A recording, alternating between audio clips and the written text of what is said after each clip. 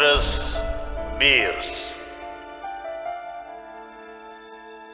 Случай на мосту через Савиный ручей.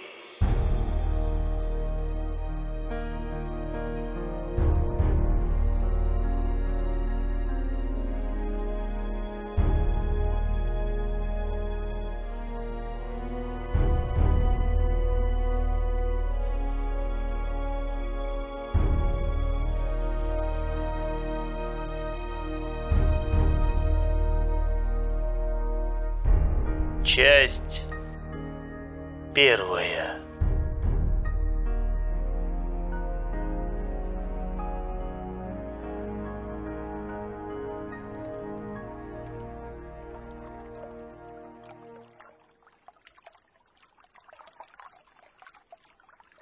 На железнодорожном мосту в северной части Алабамы стоял человек и смотрел вниз на быстрые воды в двадцати футах под ним.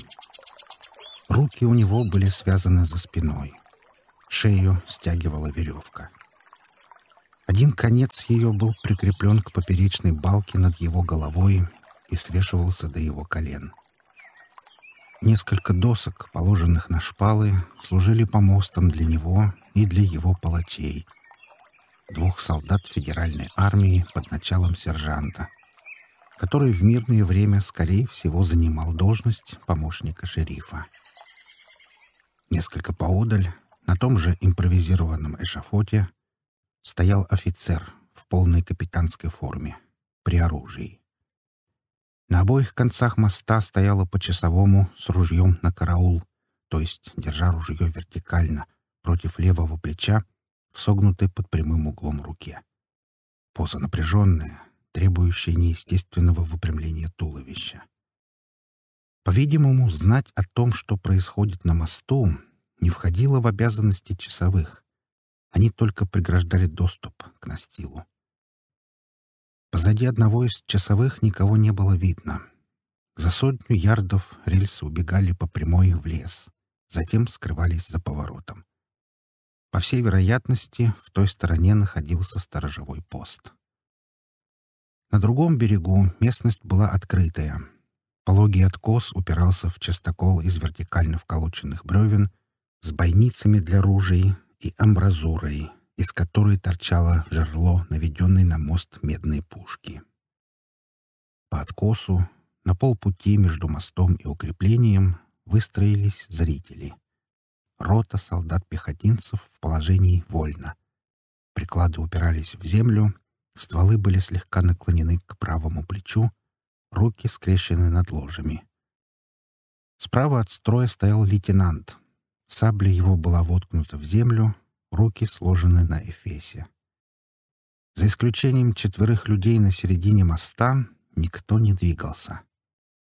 Рота была повернута фронтом к мосту, солдаты застыли на месте, глядя прямо перед собой. Часовые, обращенные лицом каждый к своему берегу, казались статуями, поставленными для украшения моста. Капитан, скрестив руки, молча следил за работой своих подчиненных, не делая никаких указаний. Смерть — высокая особа. И если она заранее оповещает о своем прибытии, ее следует принимать с официальными изъявлениями почета. Это относится и к тем, кто с ней на короткой ноге. По кодексу военного этикета безмолвие и неподвижность знаменуют глубокое почтение. Человеку, которому предстояло быть повешенным, было на вид лет 35. Судя по платью, такое обычно носили плантаторы, он был штатский. Черты лица правильные, прямой нос, энергичный рот, широкий лоб. Черные волосы, зачесанные за уши, падали на воротник хорошо сшитого сюртука. Он носил усы и бороду клином, но щеки были выбриты. Большие темно-серые глаза выражали доброту, что было несколько неожиданно в человеке с петлей на шее. Он ничем не походил на обычного преступника — Закон военного времени не скупится на смертные приговоры для людей всякого рода, не исключая и джентльменов. Закончив приготовление, оба солдата отступили на шаг, и каждый оттащил доску, на которой стоял. Сержант повернулся к капитану, отдал честь и тут же встал позади него, после чего капитан тоже сделал шаг в сторону. В результате этих перемещений осужденный и сержант очутились на концах доски, покрывавшей три перекладины моста. Тот конец, на котором стоял штатский, почти, но не совсем доходил до четвертой. Раньше эта доска удерживалась в равновесии тяжестью капитана. Теперь его место занял сержант. По сигналу капитана Сержант должен был шагнуть в сторону, доска качнуться и осужденный повиснуть в пролете между двумя перекладинами. Он оценил по достоинству простоту и практичность этого способа. Ему не закрыли лица и не завязали глаз.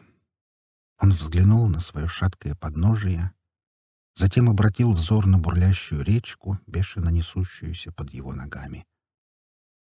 Он заметил пляшущее в воде бревно и проводил его взглядом вниз по течению.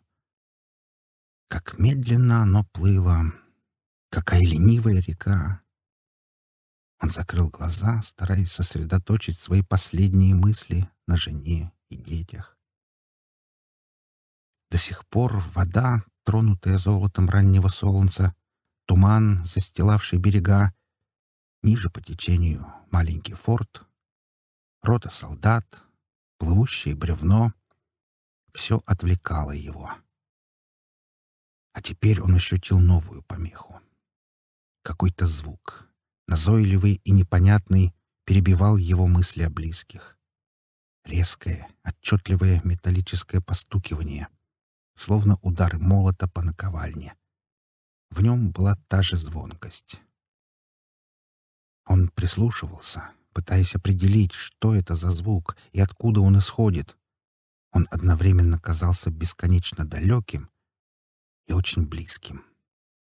Удары раздавались через правильные промежутки, но медленно, как похоронный звон. Он ждал нового удара с нетерпением и, сам не зная почему, со страхом. Постепенно промежутки между ударами удлинялись, Паузы становились все мучительнее. Чем реже раздавались звуки, тем большую силу и отчетливость они приобретали. Они словно ножом резали ухо. Он едва удерживался от крика. То, что он слышал, было тиканье его часов. Он открыл глаза и снова увидел воду под ногами. «Высвободить бы только руки», — подумал он. «Я сбросил бы петлю и прыгнул в воду. Если глубоко нырнуть, пули меня не достанут. Я бы доплыл до берега, скрылся в лесу и пробрался домой. Мой дом, слава богу, далеко от фронта. Моя жена и дети пока еще недосягаемы для захватчиков. Когда эти мысли, которые здесь приходится излагать словами, сложились в сознании обреченного, точнее, молнии сверкнули в его мозгу, капитан сделал знак сержанту. Сержант отступил в сторону.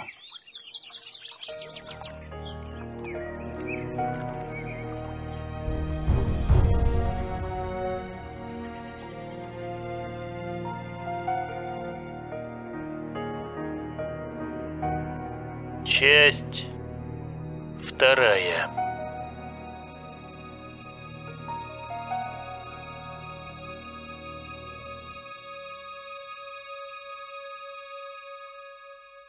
Пейтон Факуэр – состоятельный плантатор из старинной и весьма почтенной алабамской семьи. Рабовладелец и, подобно многим рабовладельцам, участник политической борьбы за отделение Южных Штатов. Был ярым приверженцем дела южан. По некоторым независящим от него обстоятельствам, о которых здесь нет надобности говорить, ему не удалось вступить в ряды храброго войска, несчастливо сражавшегося и разгромленного под Коринфом. И он томился в бесславной праздности, стремясь положить свои силы, мечтая об увлекательной жизни воина, ища случая отличиться. Он верил, что такой случай ему предоставится, как он представлялся всем в военное время. А пока он делал все, что мог. Не было услуги, пусть даже самой скромной, которой он с готовностью не оказывал бы делу юга. Не было такого рискованного предприятия, на которое он не пошел бы, лишь бы против него не восставала совесть человека штатского. Но воина в душе, чисто сердечно и не слишком вдумчиво уверовавшего в неприкрытно гнусный принцип, что в делах любовных и военных дозволено все. Однажды вечером, когда Факкуэр сидел с женой на каменной скамье у ворот своей усадьбы, к ним подъехал солдат в серой форме и попросил напиться. Миссис Факуэр с величайшей охотой отправилась в дом, чтобы собственноручно исполнить его просьбу. Как только она ушла, ее муж подошел к запыленному всаднику и стал жадно расспрашивать его о положении на фронте. Янки восстанавливают железные дороги, сказал солдат. И готовятся к новому наступлению. Они продвинулись до Савиного ручья, починили мост и возвели укрепления на своем берегу. Повсюду расклеен приказ, что всякий штатский, замеченный в порче железнодорожного полотна, мостов, туннелей или составов, будет повешен без суда. Я сам читал приказ. «А далеко ли до моста?» — спросил Факуэр. «Миль тридцать». А наш берег э, охраняется? Только сторожевой пост на линии, в полмили от реки, да часовой на мосту. А если какой-нибудь кандидат висельных наук, и притом штатский проскользнул мимо сторожевого поста и справился бы с часовым? С улыбкой сказал Факуэр. Что мог бы он сделать? Солдат задумался. «Я был там с месяц назад», — ответил он, и помню, что во время зимнего разлива к деревянному устою моста прибило много плавника. Теперь бревна высохли и вспыхнут, как пакля. Тут вернулась миссис Факуэр и дала солдату напиться. Он учтиво поблагодарил ее, поклонился хозяину и поехал дальше.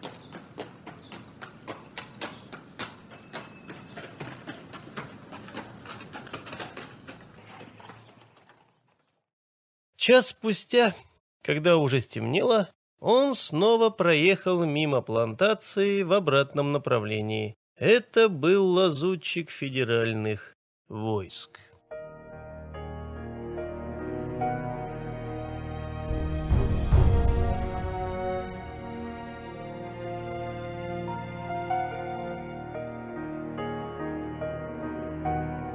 Часть третья.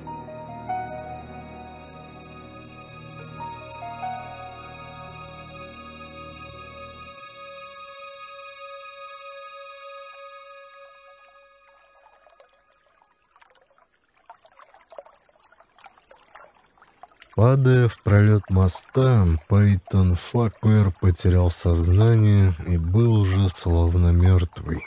Очнулся он через тысячелетия, казалось ему от острой боли в сдавленном горле, за которой последовало ощущение удушья. Мучительные резкие боли словно отталкивались от его шеи и расходились по всему телу. Они мчались по точно намеченным разветвлениям, пульсируя с непостижимой частотой.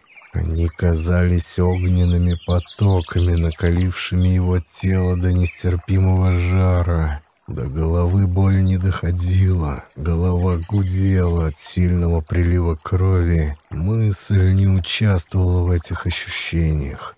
Сознательная часть его существа уже была уничтожена. Он мог только чувствовать, а чувствовать было пыткой. Но он знал, что движется, лишенный материальной субстанции, превратившись всего только в огненный центр светящегося облака. Он словно гигантский маятник качался по немыслимой дуге колебаний, и вдруг со страшной внезапностью замыкающий его свет с громким всплеском взлетел кверху. Уши ему наполнил неистовый рев. Наступили холод и мрак. Мозг снова заработал. Он понял, что веревка оборвалась и что он упал в воду. Он не захлебнулся. Петля, стягивающая ему горло, не давала воде заливать легкие. Смерть через повешение на дне реки. Что может быть нелепее? Он открыл глаза в темноте и увидел над головой слабый свет, но как далеко, как недосягаемо далеко. По-видимому, он все еще погружался, так как свет становился слабее и слабее, пока не осталось едва заметное мерцание. Затем свет опять стал больше, ярче, он понял, что его выносит на поверхность. Понял с сожалением, ибо теперь ему было хорошо. «Быть повешенным и утопленным», — подумал он, — «еще куда ни шло. Но я не хочу быть пристреленным. Нет, меня не пристрелят, это было бы несправедливо. Он не делал сознательных усилий, но по острой боли в запястьях догадался, что пытается высвободить руки. Он стал внимательно следить за своими попытками, равнодушный к исходу борьбы, словно праздный зритель, следящий за работой фокусника. Какая изумительная ловкость! Какая великолепная сверхчеловеческая сила! Ах, просто замечательно! Браво! Веревка упала, руки его разъединились и всплыли. Он смутно различал их в ширящемся свете. Он с растущим вниманием следил за тем, как сначала одна, потом другая ухватилась за петлю на его шее. Они сорвали ее, со злобностью отшвырнули. Она извивалась, как уж. «Наденьте! Наденьте опять!» Ему казалось, что он крикнул это своим рукам, ибо муки, последовавшие за ослаблением петли, превзошли все испытанное им до сих пор. Шея невыносимо болела, голова горела, как в огне, сердце, до сих пор слабо бившееся, подскочило к самому горлу, стремясь вырваться наружу. Все тело корчилось в мучительных конвульсиях, но непокорные руки не слушались его приказа. Они били по воде сильными, короткими ударами сверху вниз, подталкивая его на поверхность. Он почувствовал, что голова его поднялась над водой, глаза слепило солнце. Грудная клетка судорожно расширилась, и в апогее боли его легкие наполнились воздухом, который он тут же с воплем исторгнул из себя. Теперь он полностью владел своими чувствами. Они даже были необычайно обострены и восприимчивы. Страшное потрясение, перенесенное его организмом, так усилило и утончило их, что они отмечали то, что раньше было им недоступно. Он ощущал лицом набегающую рябь и по очереди различал звук каждого толчка воды. Он смотрел на лесистый берег, видел отдельно каждое дерево, каждый листик и шилки на нем — все, вплоть до насекомых в листве, цикад, мух с блестящими спинками, серых пауков, протягивающих свою паутину от ветки к ветке. Он видел все цвета радуги в капельках росы на миллионах травинок, жужжание мошкары, плясавшие над водоворотами, трепетание крылышек стрекоз, удары лапок жука-плавунца, похожего на лодку, приподнятую веслами, все это было внятной музыкой. Рыбешка скользнула с самых его глаз, и он услышал шум рассекаемой ею воды. Он всплыл на поверхность спиной к мосту, и в то же мгновение видимый мир стал медленно вращаться вокруг него, словно вокруг своей оси. И он увидел мост, укрепление на откосе, капитана, сержанта, обоих солдат, своих палачей. Силуэты их четко выделялись на голубом небе. Они кричали и размахивали руками, указывая на него. Капитан выхватил пистолет, но не стрелял. У остальных не было в руках оружия. Их огромные жестикулирующие фигуры были нелепы и страшны. Вдруг он услышал громкий звук выстрела, и что-то силой ударило по воде в нескольких дюймах от его головы, отдав ему лицо брызгами. Опять раздался выстрел. Он увидел одного из часовых. Ружье было вскинуто, над долом поднимался сизый дымок. Человек в воде увидел глаз человека на мосту, смотревший на него сквозь щель прицельной рамки. Он отметил серый цвет этого глаза и вспомнил, что серые глаза считаются самыми зоркими и что будто бы все знаменитые стрелки сероглазы. Однако этот сероглазый стрелок промахнулся. Встречное течение подхватило Фуакуэра и снова повернуло его лицом к лесистому берегу. Позади него раздался отчетливый звонкий голос, и звук этого голоса, однотонный и певучий, донесся по воде так внятно, что прорвал и заглушил все остальные звуки, даже журчание воды в его ушах. Факуэр хоть и не был военным, достаточно часто посещал военные лагеря, чтобы понять грозный смысл этого нарочито мерного протяжного напева. Командир роты, выстроенный на берегу, вмешался в ход событий. Как холодно и неумолимо, с какой уверенной невозмутимой модуляцией, рассчитанной на то, чтобы внушить спокойствие солдатам, с какой обдуманной раздельностью прозвучали жесткие слова. «Рота! Смирно! Ружье к плечу! Готовься! Цельсь! Пли!» Пакуэр нырнул, нырнул как можно глубже. Вода взревела в его ушах, словно то был Ниагарский водопад, но он все же услышал приглушенный гром залпа и снова, всплывая на поверхность, увидел блестящие кусочки металла, странно сплющенные, которые, покачиваясь, медленно опускались на дно. Некоторые из них коснулись его лица и рук, затем отделились, продолжая опускаться. Один кусочек застрял между воротником и шеей. Стало горячо, и Факуэр его вытащил.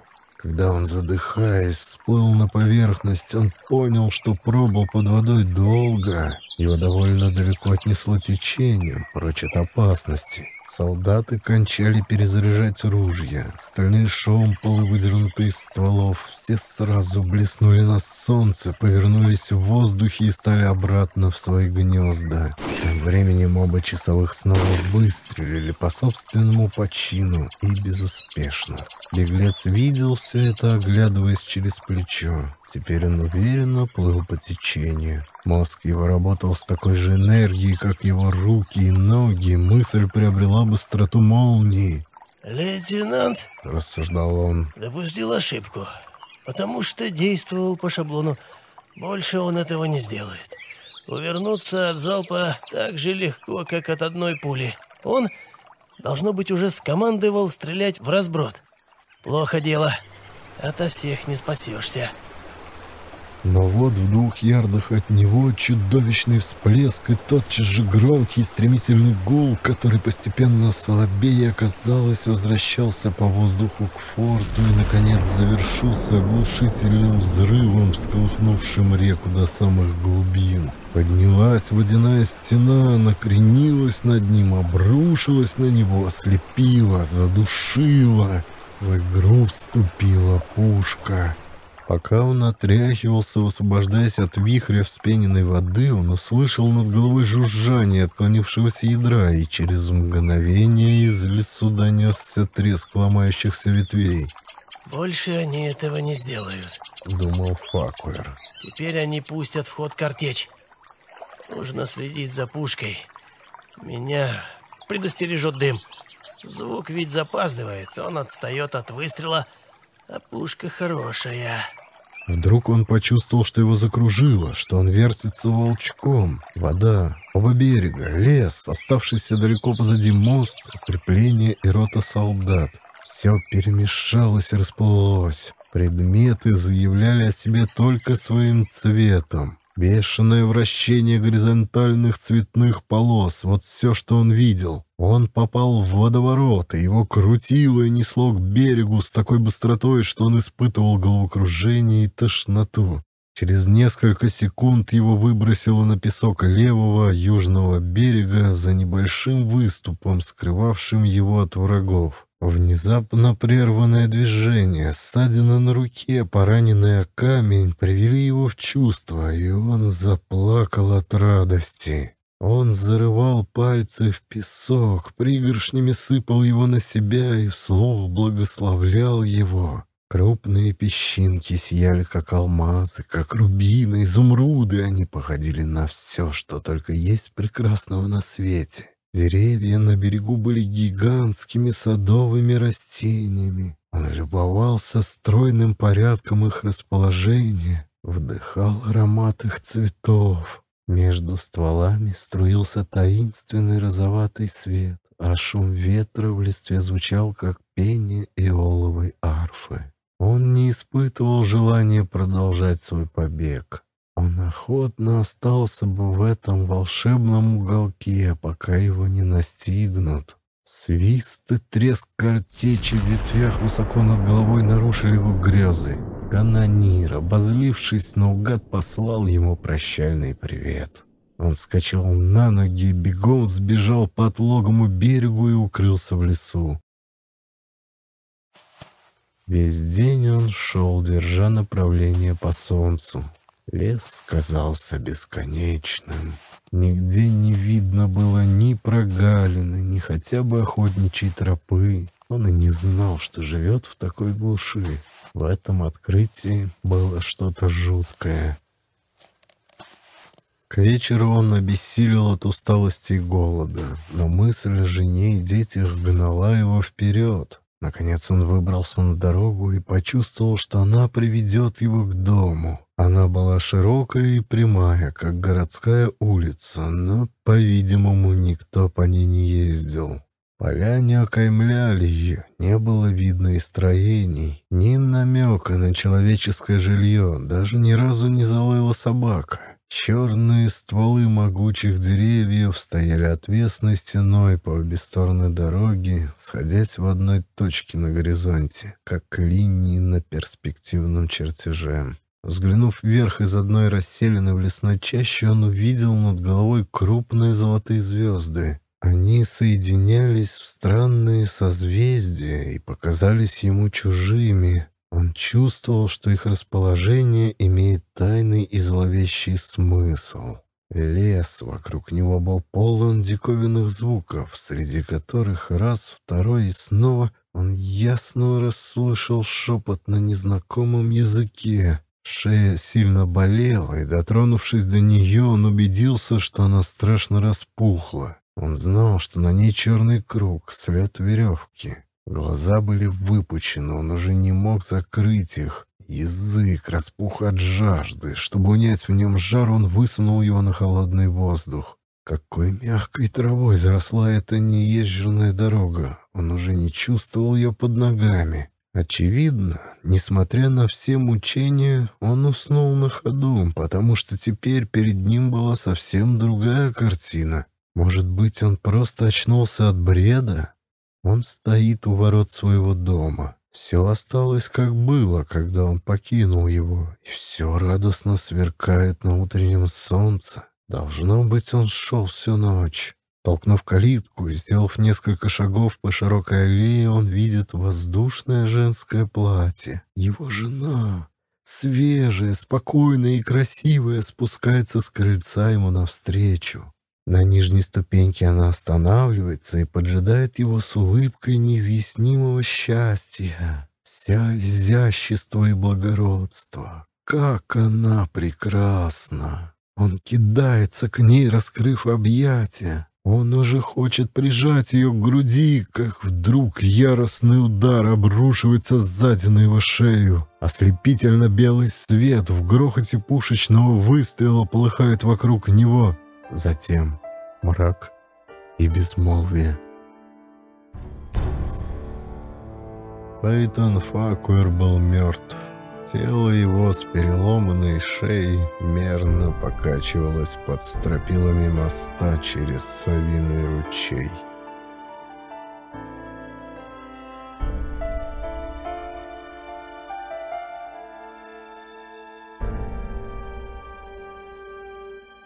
Конец рассказа.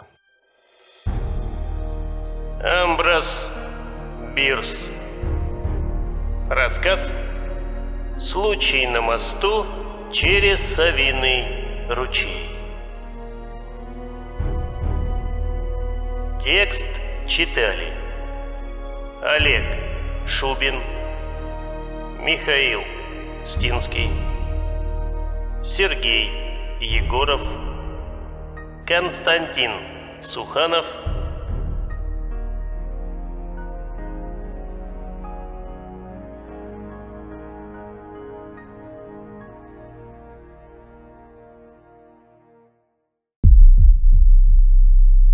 Дорогие слушатели, слушать аудиокниги, скачивать их или смотреть эксклюзивные видеоверсии аудиокниг можно совершенно бесплатно, воспользовавшись любым из ресурсов, которые я для вас сейчас перечислю. Эти ресурсы являются официальными ресурсами, где аудиокниги выкладываю я, Костя Суханов. Удобнее всего, наверное, слушать на телефоне, поэтому начну с Телеграма. Там можно слушать аудиокниги с выключенным экраном у телефона и заниматься своими делами. Ну и, конечно, скачать их при желании. Появляется чуть-чуть попозже, чем на Ютубе, но Ютуб не вечен. Никто не знает, что с ним будет завтра. А Телеграм никуда не пропадет. Обязательно подписывайтесь. Чтобы найти канал с бесплатными аудиокнигами в Telegram, достаточно в поиске Telegram ввести «Аудиокниги читает Костя Суханов». Это канал. Существует также беседка в Telegram, где 24 часа 7 дней в неделю я нахожусь на связи со слушателями. Очень теплая ламповая атмосфера присутствует. Называется чат «Беседка с актером Костей Сухановым».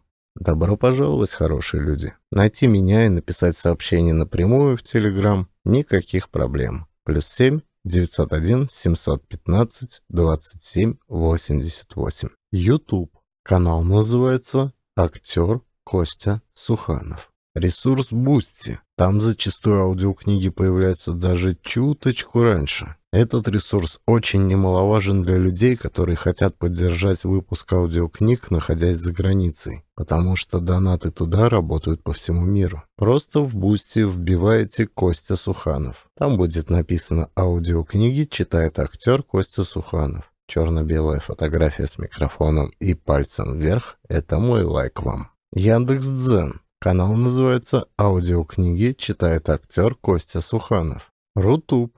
Канал Костя Суханов. Группа в Одноклассниках. Называется «Аудиокниги», читает актер Костя Суханов. Группа ВКонтакте. Называется просто «Аудиокниги». Если не найдете, просто напишите мне в WhatsApp или Telegram плюс 7 901 715 27 88. Я пришлю ссылочки.